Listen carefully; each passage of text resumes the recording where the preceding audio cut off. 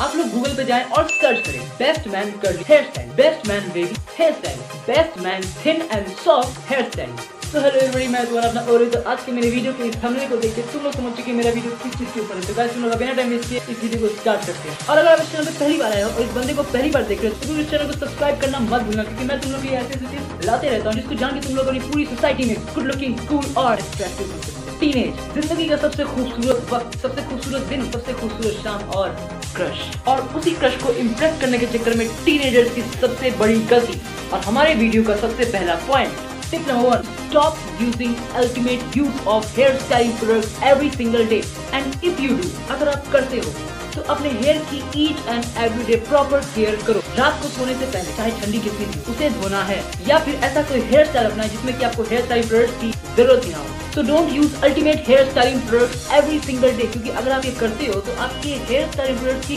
कदर बहुत नीचे गिर जाएगी, क्योंकि वो फिर आम हो जाएगा। और अगर आप लोग को खास दिखना है तो खास चीज़ें कभी कभी होगी। आप लोग कभी कभी इसका यूज़ कर सकते हो।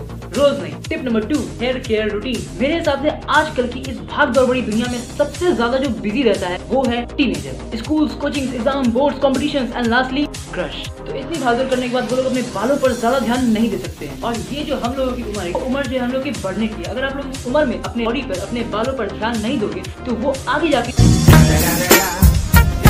आप लोग प्लीज़ अपने बालों और बॉडी पर ध्यान देना शुरू कर दो। And trust me it's quite simple आप लोगों को बस अपने बालों को डस्ट डर्ट पोल्यूशन और सनलाइट से बचाना है। और इसका सबसे अच्छा उपाय है कि आप लोग एक कैप पहन और सबसे अच्छा कैप आता है बेसबॉल कैप आप लोग बाय कर सकते हो। लिंक डिस्क्रिप्शन रात को सोने से पहले अपने बालों को आप लोग ऑयल या सीरम से मसाज करो। इसको करने से आप लोगों की स्कैल्प की जो हेल्थ है वो बनी रहेगी और आप लोग के बाल जो है वो ज़्यादा अच्छे रहेंगे। आप लोग अपने बालों को बार बार अपने साफ़ सुथरे हाथों से मत छुआ करो। इससे आपकी हेयर ग्रोथ जो है वो डैमेज हो सकती है। और मुझे लगता नहीं कि आप लोग tip number three choosing a wrong hair style आप लोग अपने बालों के टेक्सचर और अपने फेस कट को देखे अपना हेयर डिज़ाइन चूज़ कर सकते हो। किसी के बाल पतले होते हैं, किसी के बाल कर्ली होते हैं, किसी के बाल मोटे होते हैं, किसी के बेबी होते हैं। जैसा आपका फेस कट और जैसे आपके बाल हैं, आप लोग वैसा अपना हेयर डिज़ाइन रखिए और अपने बालों को उस तरह से बढ़ाइए। अगर किसी बंदे के कर्ली और सिंकी हेयर स्टाइल है और वो अपने हेयर स्टाइल को सॉफ्ट एंड थिन बनाना चाहता है तो it is not possible natural तो भाई लोग, ये आपकी रिस्पॉन्सिबिलिटी कि आप खुद पता करो कि आपका फेस कट कैसा है, आपकी हेयर की क्वालिटी और टेक्सचर कैसा है और क्या आप पे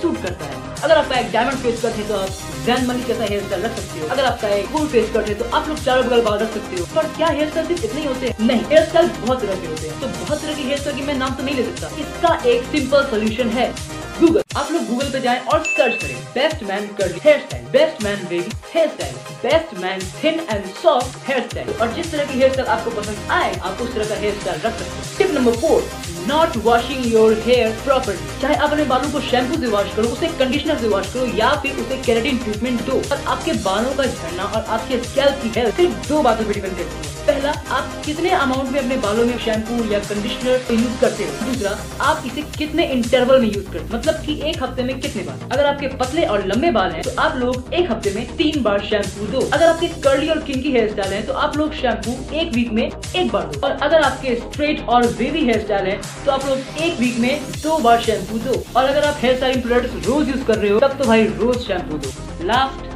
but not the least. Precaution is better than cure. Receding hairline, nail pattern baldness और androgenetic alopecia. In short, आपकी खूबसूरत बालों का झड़ना और आपको जो ये प्रॉब्लम है ये मेनली डिपेंड करती है आपकी हेरिडिटी पे आपकी हेरिडिटी जिस तरह की होगी आपके बाल उस तरह के होंगे और उस एज में आते आते आपके बाल यहाँ से यहाँ आ जाए। तो आप लोग को जैसे जैसे पता चल रहा है की आपके बाल अब झड़ने वाले हैं या झड़ रहे हैं। तो आप लोग एक डर्मोटोलॉजिस्ट या एक हेयर स्किन केयर एक्सपर्ट के पास जाए, जिससे की आप लोग सलाह ले सके की आपको अपने बालों को झड़ने ऐसी कैसे बचाना है। वरना जवानी में बुढ़े हो जाओगे और टीनेजर मोस्टली इस बात को इग्नोर ही करते हैं कि उन्हें लगता है कि ये नॉर्मल है। पर ये नॉर्मल नहीं है। क्या कहो तो कुछ केसेस में ये नॉर्मल है, पर हर केस में ये नॉर्मल नहीं होता। बहुत सारे हम लोग के ऐसे काम होते हैं। तो इस आई बटन में देख रहे हो मैंने एक वीडियो की लिंक दी, जिसमें आप लोग को पता चल रहा है कि आप लोग ऐसे क्या क्या काम करते हो, जिससे कि आप लोगों के बाल छटते आपके सर पर बाल ना हो, इससे तो अच्छा है कि आप लोग अपनी ज़िंदगी से कुछ वक्त निकाल के अपने बालों को और अपने खूबसूरत खूबसूरत बालों को छड़ने से बचा लो, जिससे कि आप पूरी ज़िंदगी खूबसूरत दिख सकते हो। Be sexy all right so guys I will see you this video and please make sure subscribe my YouTube channel and I will see you guys in the next video in stay good stay healthy